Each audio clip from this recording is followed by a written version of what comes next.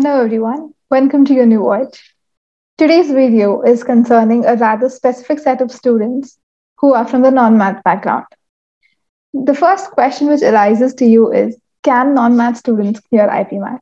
And the answer to it is very simple. Obviously you can. There are students from my batch as well as previous batches who have not only cleared IPMAT, but are also doing exceptionally well in their math courses of the IPM program. So you might need a little bit of extra effort and a bit more of time, but you win and you can do it. So let's see on some tips. A basic roadmap of what you can follow is start with the basic math, that is the foundational math, which are from your 6th to 10th standard, and then go on to your 11th grade and 12th grade maths. And as I told, a little bit of extra effort. Why this extra effort is needed is because students from math background, they are preparing for their boards and your IPMAT. So it is like they're preparing at once for both the exams. But since you're from the non-math background, you'll have to concentrate on it specifically. And because you it's not coming for your boards, so you'll have to spend a little more extra time. And then you have to have a lot of confidence. And yes, IPMAT is cracked. So when I don't basic maths, it's the foundational maths. It is percentages, averages, ratio proportion, SICI, profit and loss, time, speed and distance, linear equations, linear algebra. I might have missed a few. So you get the idea. These are the very basic level maths which your foundation of the math stands on. So you should be really thorough with these. Uh, there are questions from these in all your JIPMAT, IPM Indore, IPMAT Rohtak. So in all these papers, the questions are asked, and you need to be really thorough with your sixth to tenth maths.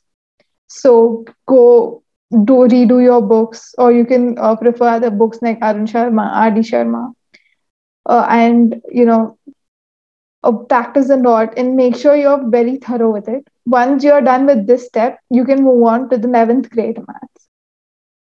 So in your 11th grade, you can concentrate on your NCERT topics.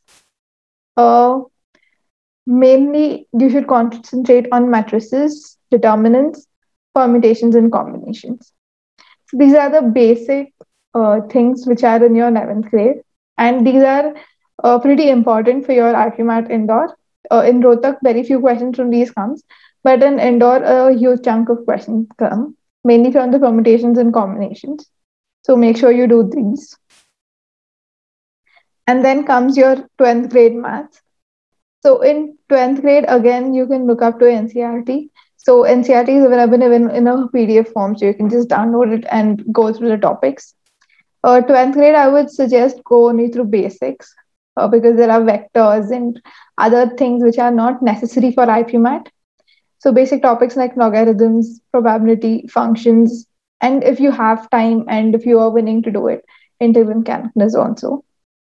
So um, NCERT helps. And there's a, another video which is coming up about what books you need to refer. So you can surely look up to that for solving questions in others.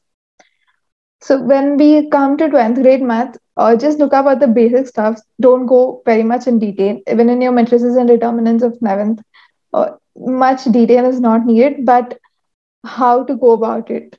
A basic overall or overview of the whole thing is required. So put in more effort, put little more time, and have confidence in yourself, and you can clear IPMAT. Thank you. I hope this helped you guys. Please like and subscribe, and also uh, look up to the UniVoyage website for UniPrime and other courses.